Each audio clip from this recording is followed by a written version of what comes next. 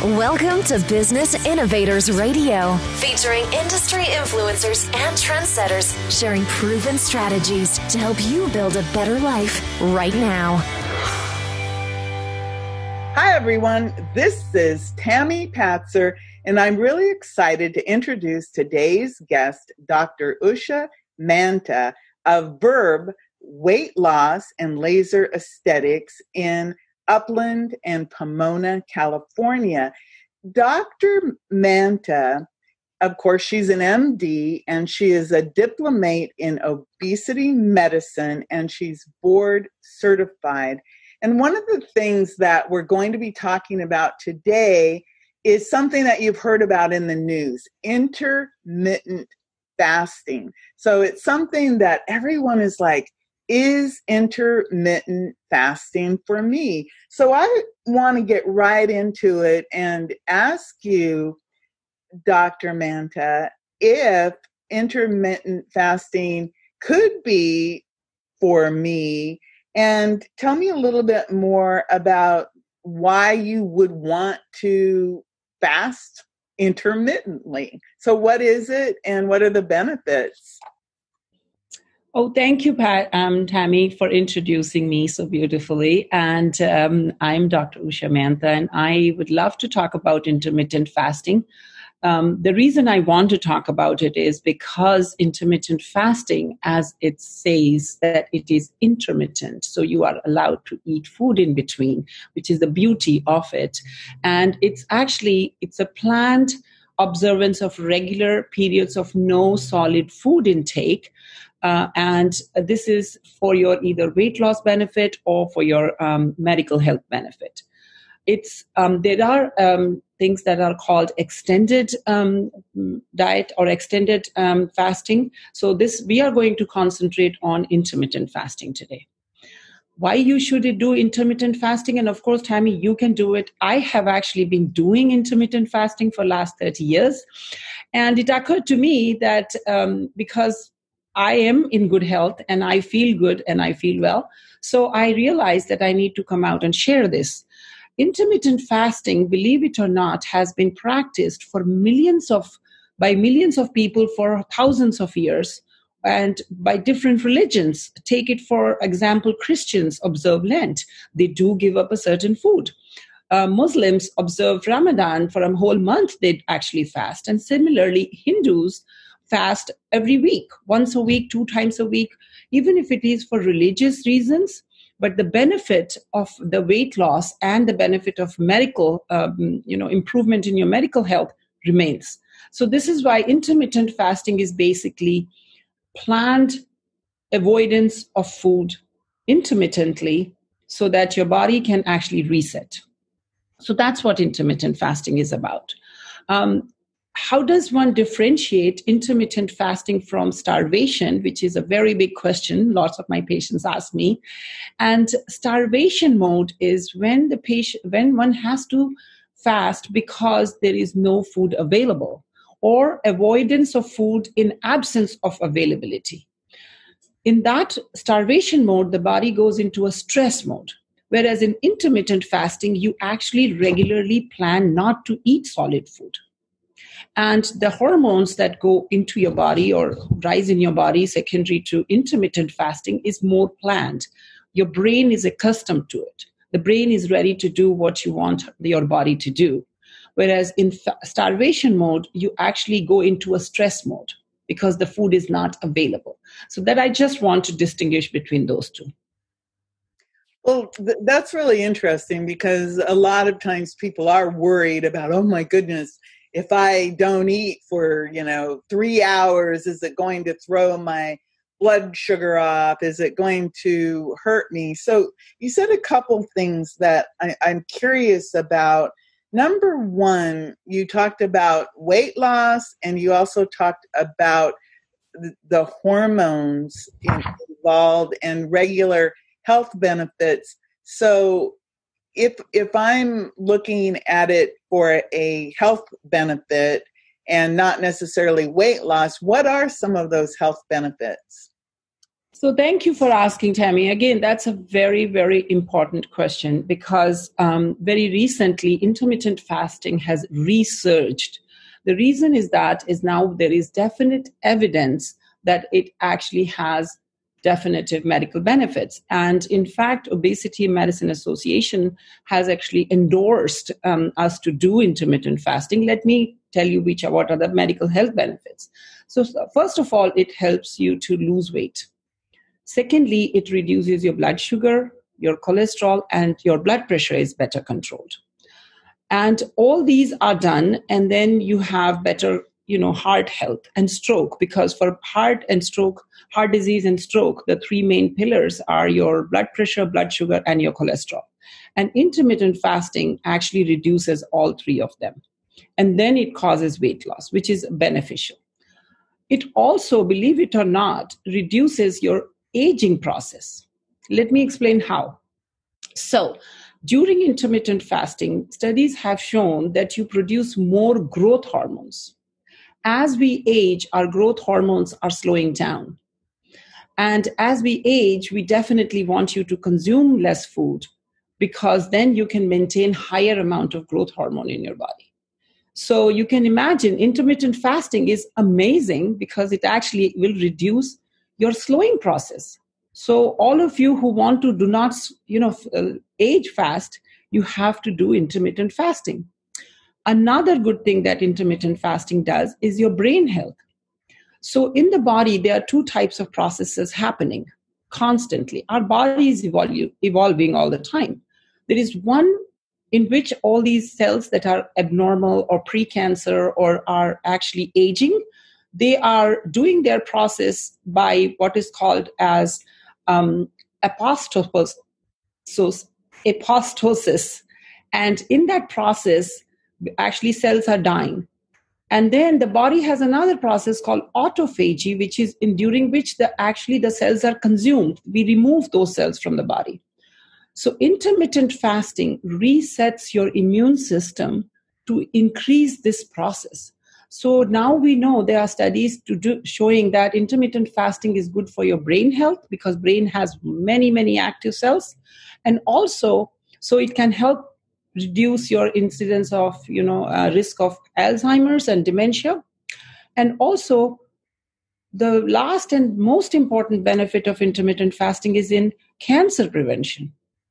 Again, these abnormal cells they have to be absorbed by the body and intermittent fasting actually increases this process of abnorm- uh, uh, absorption of these abnormal cells so you can imagine in summary it call, it helps you reduce weight blood pressure cholesterol your blood sugar your treatment of you it, it is a treatment for diabetes it's good for your brain for your memory health for your cancer prevention and aging, which is amazing, right? And intermittent fasting is simple, flexible, inexpensive, and almost 100% time it works. Well, everything that you're talking about from I'm thinking about myself, for example. Uh, you know, I'm thinking, well, if I can age slower, that would be good. If I can have a higher quality brain function and if I could lose weight and not and decrease my risk of heart attack or stroke or other health issues, that really would be phenomenal. I had a question related to um, like uh, different diets. Um, right now, for example, the keto diet, Mediterranean diet, the DASH diet, just uh, being a vegan, being a vegetarian, being a meat eater. Uh, how does it work? Intermittent fasting work? Uh, um, should I be on any particular diet? I think you mentioned earlier that you could eat pretty much whatever you want, but what does that mean? So that's an again a very good question because whenever we introduce a new way of eating, we always have questions how do we start? How do we you know incorporate? Because remember tammy eating is not just a, an event. Eating is a social issue. It is an issue of availability your you know what have you grown up eating? You know if as a child whatever you were fed is what you are eating and your brain is only looking for those food. And on the top of the whole palate is the palatability. What do you like? You can you and i both know that in the same household with the same mother cooking for the same siblings, everybody has their different tastes. And not only that, when we actually grow up, we develop different tastes. We move out of the world, you know, different parts of the world. So eating food is a very complex mechanism. And on top of it all is the our brain, our psychology, our so, you know mental status. So intermittent fasting fits in absolutely beautifully in this whole thing. Let me explain why. Because when we talk about keto diet or DASH diet or the Mediterranean diet, these are the things that these are the choices of the pro, uh, macronutrients we are suggesting to you. You should eat, you know, carbohydrate, protein, and fat in these proportions. So those are actually your actual proportion of different macronutrients. Intermittent fasting is actually a method of doing it. Does that make sense? That is a food choice, and this is a method. Okay, so now in this method, you are going to bring those into your method. So here's an example. For example, the very common one I, you know, when I start mm, talking to my patients about intermittent fasting, I start with saying, have you heard about it? And then i come out and i say have you tried anything like fasting for so many hours? And they say oh no i'm on this diet. I'm on mediterranean diet. And i'm like even better because intermittent fasting is just a way of life. If you think about it it's a way of life we are teaching. It's it's a behavioral thing we are teaching them. So now if some example you are taking mediterranean diet which is by the way amazing diet. Mediterranean diet is all plant based food. All your unpre- i mean non preservative non pesticide non you know type of food natural food. So and whole grains are the main stay of mediterranean diet. And of course olive oil and your fruits and your nuts and your vegetables are mainstay of mediterranean. Of course you should be doing the mediterranean diet into your intermittent fasting. You will eat your solid food which is either your Mediterranean diet or your DASH diet. If you have high blood pressure, you will have reduced salt. You will do your, um, your diet during the time you eat. However, the times that you actually go into the fasting mode, you will be doing what we call as fasting fluids. Now, during the fasting fluid, if you have high blood pressure, if you have high cholesterol, so if you have, for example, high blood pressure, you don't add added salt if you have high cholesterol, we would not suggest you add extra fat to it, right? Because that's the difference, again, between keto diet and intermittent fasting. Though keto diet is very popular at present and goes hand in hand with intermittent fasting, but if you do suffer from high cholesterol and you are you know being told by your physician that you have to reduce your cholesterol then you cannot increase your fat content to moderate to high content as suggested by keto so you have to balance you have to balance but intermittent fasting is a method of consuming food what food you should contain, eat depends on your dash your mediterranean choice or your keto choice does, is that kind of clear, Tammy? What I'm trying to come up? Yes, because basically what you're saying is it, it, you choose what you're going to eat, the food you're going to eat, but it, intermittent fasting is more about the timing yes. of when you eat. And then you mentioned also the the things that you drink. Before we get into that, I wanted to ask you a little bit more about some of the myths that that I've heard about intermittent fasting. For example, I've heard that you, if you're going to do in, intermittent exercise or intermittent fasting, that maybe you should avoid exercising. Uh, another myth I've heard, um, or or some people are talking about, oh, if you do intermittent fasting, your muscles will waste away. Um, is any of that accurate or true? Okay, so uh, let me. Um, that's an amazing question because I would definitely like to want to talk about the myths about um, intermittent fasting, and I want to give you a scientific basis of why they are not true. So let us start with the very top one. So intermittent fasting basically is that you would avoid eating solid food for a certain number of hours. The most common one is about 18 to 20 hours, but we do suggest one starts at 10 to 12 hours and gradually adds up. It's typically done two to three times a week. However, people there have been studies to show you can do intermittent fasting up to five times a week. And if you do for more than a week, it's called extended fasting. So uh, during intermittent fasting, during the time you actually consume your solid food, is when you will be eating your type of diet you choose. And during the time you are actually fasting, you are only consuming fluids that we can talk about a little bit later. Are those the fluids that are going to sustain you? Now, the number one question or myth is that hunger, I'll be hungry. Okay, number one. So, hunger, I want to explain, is a learned phenomena.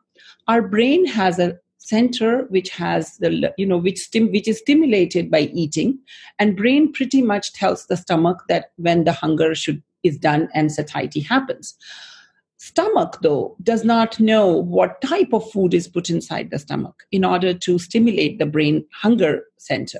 So whether you eat 3000 calories or 300 400 calories burger or you put fluid which is about two, three, four ounces the stomach will distend and tell the brain i'm full.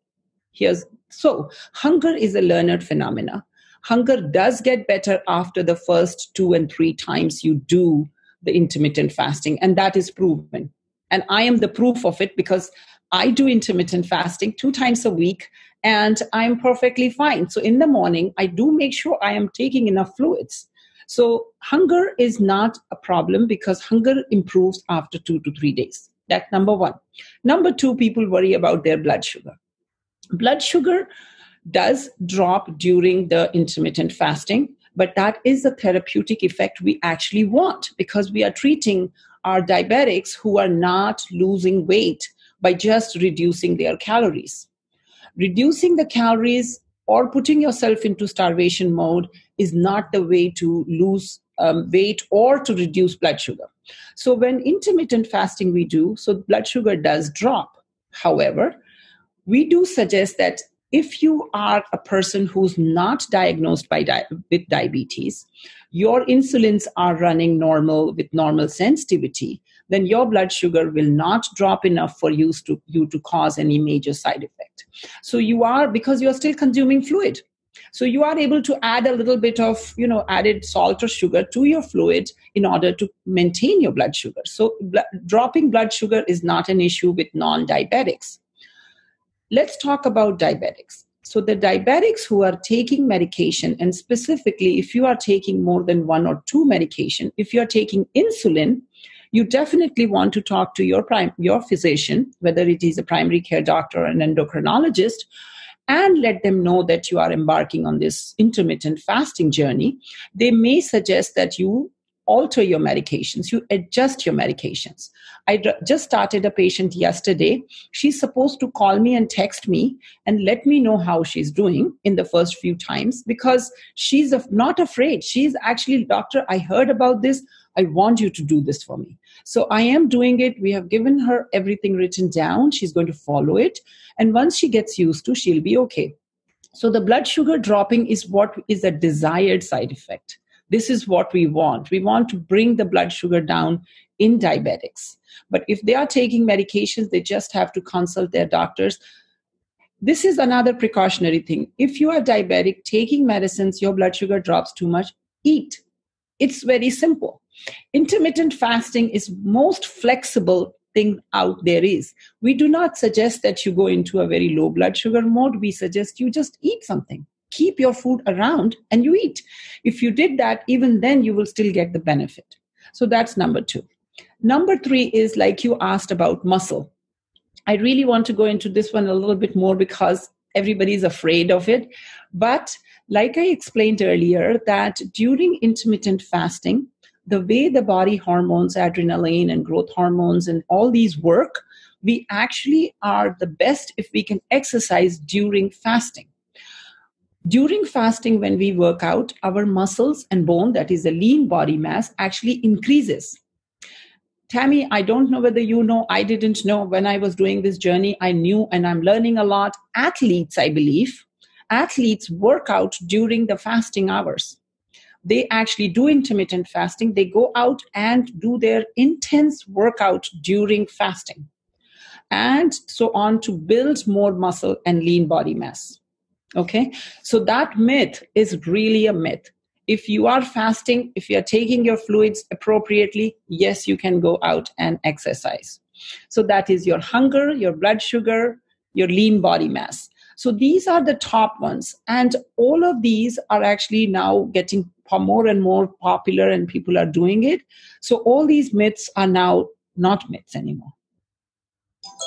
Well, that's really uh, I, am glad that you addressed all those things because, just like what you said, I think it is important that people do talk about these things with their medical provider, with their doctor, so that they can understand that all of this is based in science and that, you know, when you're talking about intermittent fasting, you're not talking about, you know, going you know, like you said, you're not going to starve to death. You actually have your fluids and then you eat during a certain time.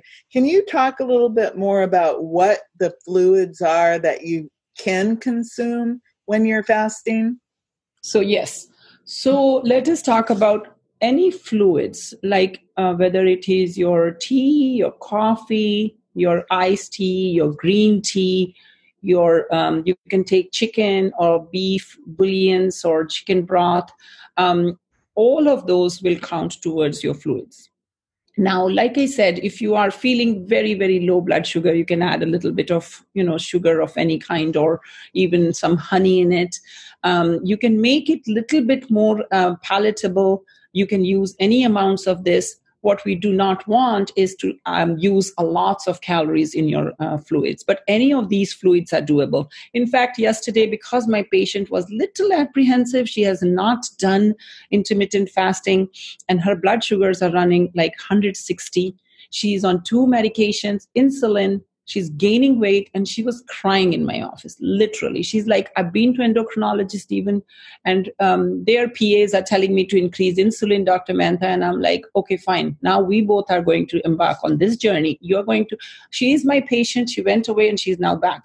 So this year i'm doing one to one patient and i told her i actually gave her soup from my office in which i actually we have these soups which has 15 grams of protein it does have a little bit extra salt, but I gave it to her and I said, look, if you do get hungry, if your salts, if your sugars drop, this is what you're going to take. So the beauty about intermittent fasting is you are not forced to do it. You are very flexible. It's easy. It's your own food. It's what you like. You're not buying any food from outside. You're not, um, you know, you, there is nothing artificial about it. It's as natural as one can do anything about their health. So, um, so yes, they can have some soup if it if it's necessary. But beauty of it is for 10 hours 12 hours tammy people do it and they don't even know they're doing it well, well that's interesting for example um, that takes me into the different lengths and types of intermittent fasting because i've been thinking about it do you count the time that you're sleeping as part of your fast? Yes. So let, yes. So the common ones which I start is um, intermittent fasting. I like to start it for 20 hours. Then I add it to 30, 32, and then to 40. So here's an example. For example, today is Wednesday, and uh, today morning, like I had my breakfast, I will have a light lunch and then maybe have an early dinner by 5, 5 o'clock, 5 p.m. We are done. Tonight after 5 p.m., I'm only going to consume fluids if I need to or want to. Till tomorrow, that is Thursday, I skip the breakfast. I skip the lunch like at 12, but I will eat something at about 2 o'clock. So we are talking about from 5 today, not till 5 tomorrow, but till 2 or 3 o'clock. I will have a proper, you can call it a lunch or an early dinner. I'll do that between 2 and 3. And then tomorrow night at about 6 o'clock, I might eat another dinner, proper dinner. Then I will eat a regular breakfast on Friday morning, a regular lunch, and then a regular dinner, but early dinner at about 5 o'clock. Then I will fast again. So does that make sense? So you you fasted for 22 hours between today and tomorrow. Then you will be eating a full day of Friday. You will just eat normal. And then Friday afternoon, you will start again for Saturday fasting. Yes, I, I understand. So 22 hours fasting. And during the time, so people, so we do have these studies to show we should have breakfast every day, we should have lunch and early dinner. But the problem is people are eating a lot. In this myth about we have to keep our metabolism going, we are eating a lot. When we are eating five meals a day, and remember, whatever we put in our mouth is energy. It's energy. It has to do something. This food has to do something to the body. And we know from our day to day living, from our experience, when people eat more, they do grow more. So, and definitely there are different types of calories, which I have actually, you know, done another time I have spoke about. We don't necessarily call it a good calories and bad calories, but where do we get this energy? That energy, is it coming from fat calories? Is it coming from good protein calories? Depends in how the body processes it. Pro- body has to process the food that we put inside. So if we eat six times a day, no matter how little we eat, we are going to keep it somewhere. Because our body is efficient, but it's not that efficient that if you put too much calories, it can still lose weight. So, this is why intermittent fasting, when we actually reduce the amount of food, another thought think about this. When we are constantly eating we are we still have so much of fat in our body the storage. We don't use our storage. We keep adding to it and when we get to a point we are either metabolically disranged or we are mass like the body mass increases our knees go our hips go either it has a metabolic effect or a mass effect. And then we start trying to fix it. So, intermittent fasting is going to prevent that weight gain. It actually can be done by anybody, any age person can do it. If you want to start intermittent fasting, this is how you do it. Go to your physician if you want to but any age, any time can start it. You don't necessarily need a full blood work unless if you think that you have either a family history of any significant metabolic diseases or you are on medications for blood pressure, seizure disorder, diabetes, cholesterol. If you are on medications, certainly you must see your primary care doctor or your doctor to see and suggest how you should do it. And um, then you should definitely have a blood work also. But there are studies to show within four weeks of starting intermittent fasting, your cholesterol normalizes. It does. Um, and it's, it's, it's just, it's, it's a beautiful thing to do. And it makes, gives you more energy. All my patients who I have put on intermittent fasting have lost anywhere between 15 to 20 pounds in four weeks and six weeks. And by the way, Tammy, there is no study to show that if you do lose weight, not rapidly, but like on a, in a short duration, it's going to harm your body. There is no studies to show. Um, unless, again, if you are metabolic syndrome or you have many medications that may have to be managed, but actual weight loss is not going to hurt your body that we have proven from doing our major surgeries for by, uh, for um, gastric bypasses and lap bands and gastrectomies that patients do wake up next day and they are not able to eat. So their blood sugars do normalize.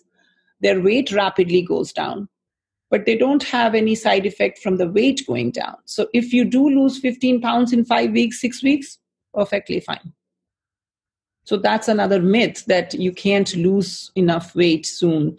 There is no reason for being worried about that. Well, that that adds to the myth of people saying if you, like you just said, if you lose rapid weight loss that you'll gain it back, but you gain it back when you go on a diet and significantly reduce your calories but you don't change your behavior. Correct because very important because we know when we do calorie restriction so this is how it works. The body is very smart very very smart mechanism. So we if we have when we do a body composition analysis and we actually measure where does your weight lie so we know is it in your water is it in your fat or is it in your you know muscles right? So we know we can approximate it now we look at your fat weight, which is one of the things we look at when we do the body mass index or BMI. For all practical purposes, there are ways of measuring how healthy somebody will be, but at present, BMI, that is body mass index, that is how much is your weight in relation to your height, is still remains the gold standard. So if you have a BMI that is 30 and above, we call it obesity. And before obesity, between 25 and 30 is called overweight, and below overweight, below 25 is, normal. Now, the BMI we measure by doing special machines on which you step up, and then it com- it gives us a body composition analysis. Another way of measuring how heavy one is, or is are they fat, uh, like obese, or are they is their fat weight going to hurt them, is to look at the actual fat weight. So 30% is the thing. If someone has 30% of their body as fat weight, for example, if somebody weighs, um, say, 100, um, 200 pounds and they have 50% half fat weight, so 100 pounds of their body is fat.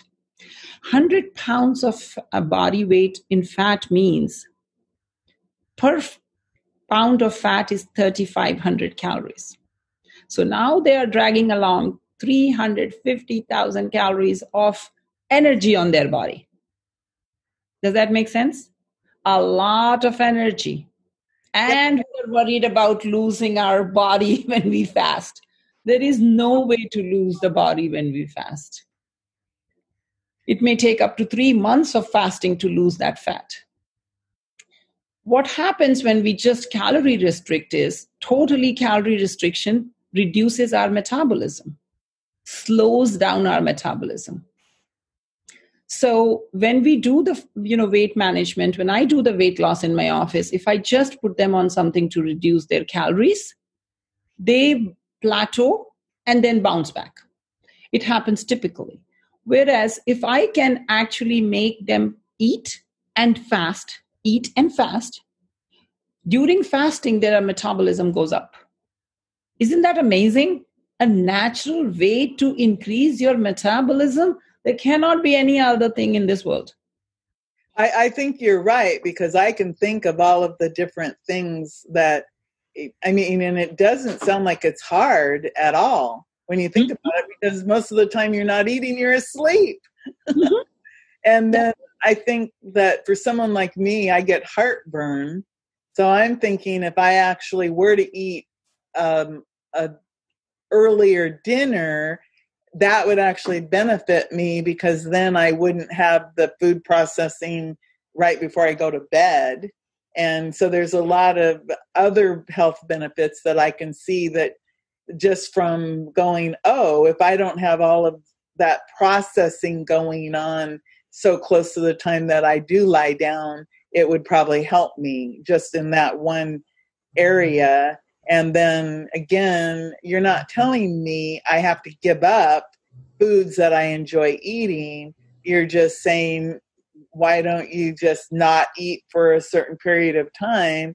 And then when you drink your fluids, don't add a bunch of stuff to add a bunch of calories and sugar to your to your drinks because that seems to be um, what most people do. Speaking of sugar, how important is that um, in, in, the scheme of all of this? Um, because you talked about dia- diabetes, and obviously that that's related to sugar and carbs. So um, you mentioned the Mediterranean diet as being a good diet, but it, you mentioned whole grains. And I just, and, and we'll talk about this another time, but I was just a little bit curious about how to choose the food. Say you're doing intermittent fasting and you just want to eat a normal diet for you. Um, is there anything that you should be avoiding? So that's that's that's very important question and i think no intermittent fasting um you know lecture or a broadcast can be completed without talking about insulin absolutely absolutely and insulin is the biggest enemy of sugar or sugar is the biggest enemy of insulin so let's talk about it so what it is is that when we consume sugar, so when let's go back to carbohydrate because sugar is part of carbohydrate. Sugar is simple. Um, car, sh- simple sh- uh, sugar is simple carbohydrate. Okay, so let's take the three main macronutrients of the body are carbohydrate, fat, and protein. Okay, so actually there are studies and there are people who believe we do not need carbohydrates at all we because carbohydrate or sugar which is part of carbohydrate is only needed to burn calories if x so every time we consume sugar or carbohydrate there is a very big thing happens in the body and that is an insulin surge some of these food items like under the carbohydrates for example simple carbohydrates will be your your sugar regular sugar cookies creams ice creams, and anything that has sugar in it, anything that you really like. Sorry. But all of them have a very you know um, glycemic index which, through which the blood sugar actually rises immediately in your blood we can see immediately the glucose actually rises that rise in your blood sugar causes insulin to come out insulin is the biggest guard in the body and everything that we are talking about intermittent fasting, diabetes, it's all about insulin sensitivity. So when we consume sugar, there is a high peak of insulin. And what it does, it, it actually preserves fat or gathers all the energy and hides it in the fat tissue. Okay? Just hold this concept for a moment. We are talking about simple sugars there is a complex sugar. Think about eating an apple. So the apple has sugar, but has a lot of fiber, right? Because by nature of apple being so big, you see the apple has fiber. Whereas sugar, a teaspoon, a teaspoon, it really melts immediately. So the apple is the complex sugar. When you take an apple, your blood sugar will still rise, but not to the extent as much as to the pure sugar. So now the complex sugar will cause some amount of blood sugar rising and a slow release of insulin. The insulin amount that is released in comparison to the pure sugar will be much less, and insulin will not cause all this energy to go and hide it in the fat. Okay, so insulin is very important hormone, and during intermittent fasting, we are bringing the insulin levels down. Because the insulin surge is what hurts us every time we eat sugar. So, the proponents who say do keto diet, they want you to have very little amount of carb, a lot of fat, a moderate amount of protein and a lot of fat, which is, you know, common. So now what it does is when you don't have sugar in the food, then your insulin will not rise. You form something called ketones. Ketones are mm, ketone, um, they are in the body, ketone bodies, and they are actually coming from your fat cells. So now instead of sugar, you're utilizing your own fat storage to create energy for the body. But if you keep putting sugar in it, in your body, so we, we feel like very energetic for a few hours and then we slump down because that insulin surge that has happened has moved all the sugar out to the fat. Whereas if you intake some protein, insulin is not coming out of their cells to attack the protein, it's more sustained energy. Think about this. So, what does sugar do? Sugar increases your, um, you know, uh, attractive. Sugar is the number one thing that attracts. If you, for example, if you eat one piece of cake and you like it, you go and take another piece of cake.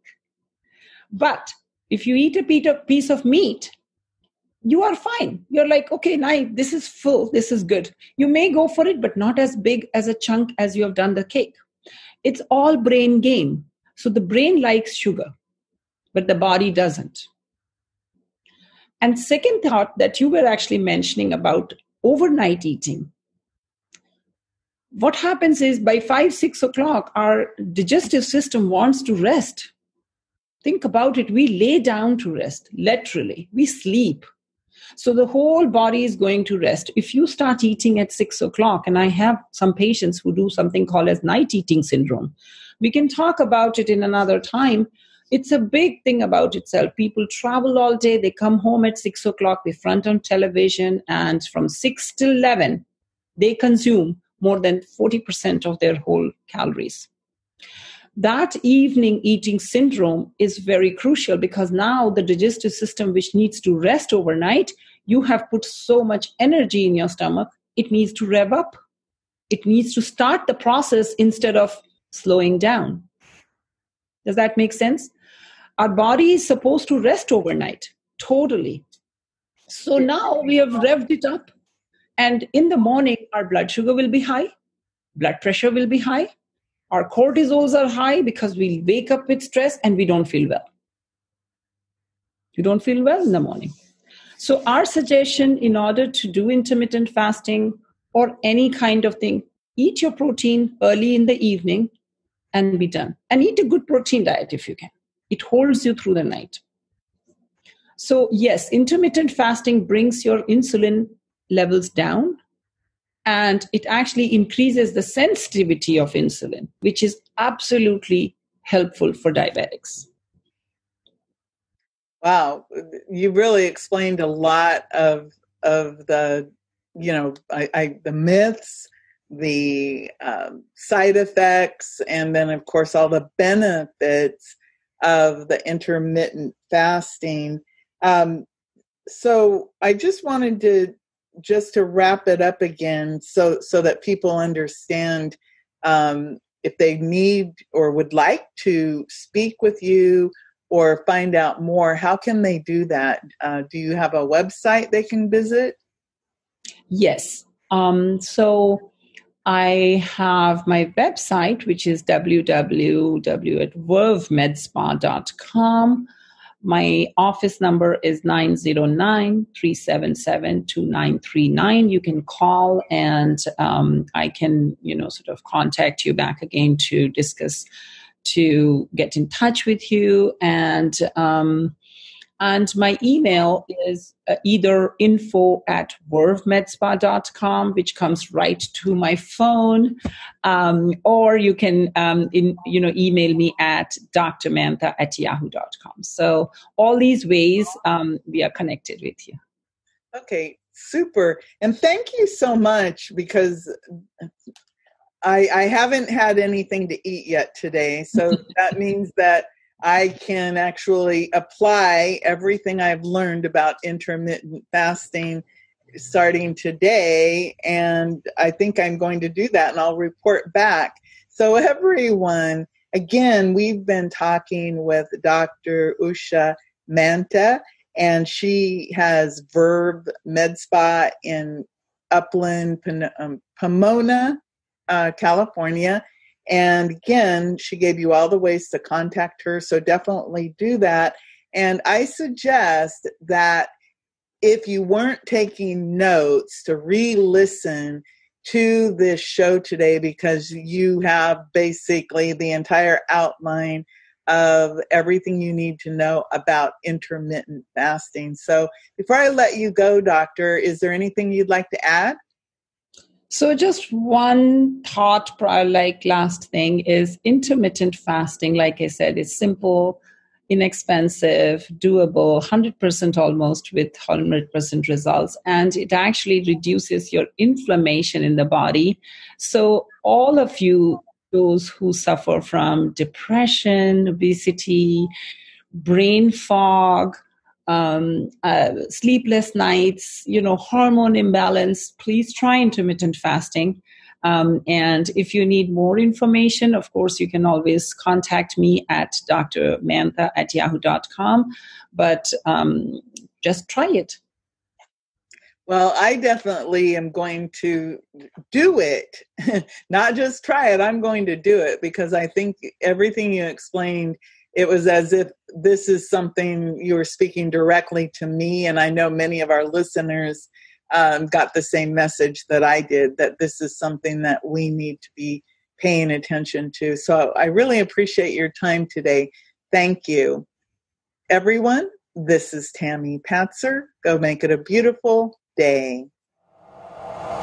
Thanks for listening to Business Innovators Radio. To hear all episodes featuring leading industry influencers and trendsetters, visit us online at businessinnovatorsradio.com today.